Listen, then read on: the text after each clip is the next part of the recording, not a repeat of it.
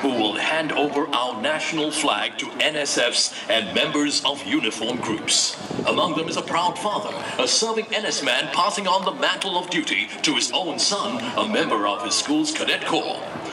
This handing over of flag symbolizes the passing on of the commitment to ensure the safety and security of our country from one generation to the next.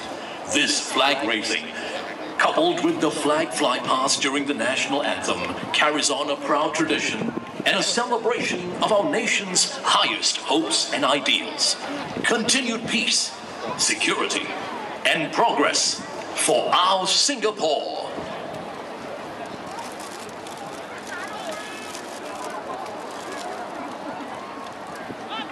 Ladies and gentlemen, please rise to welcome the President of the Republic of Singapore, Dr. Tony Tan Keng Yam.